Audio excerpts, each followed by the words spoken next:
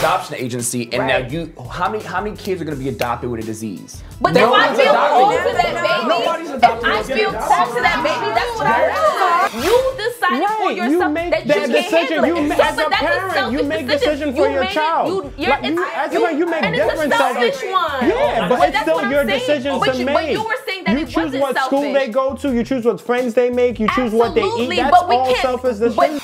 Like as soon as you have that thing inside of you, those are possible things that could happen.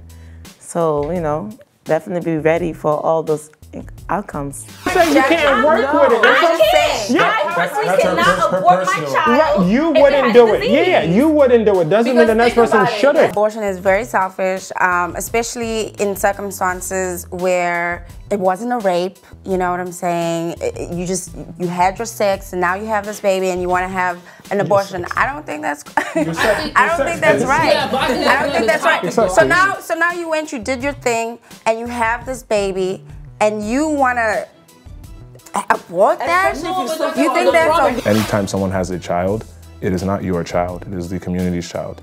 It is auntie's child, it is grandma's child. So whatever they decide, in fact, they in fact they would have more say on what happens to your child more than you. Just because you delivered the child into the world don't mean it's your child.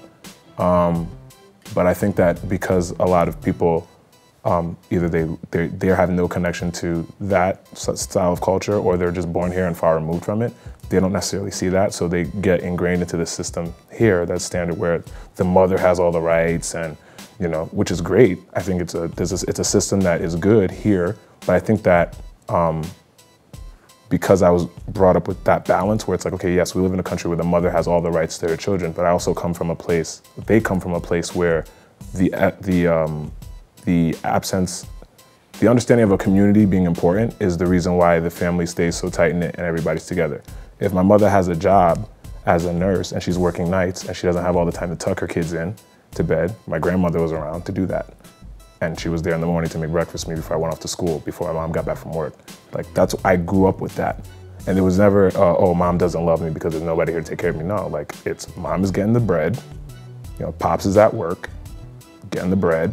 Grandma's gonna take care, you know, take care of your emotional needs for now, and then when mom is home, dad's home, everything's, you know, everybody's copacetic.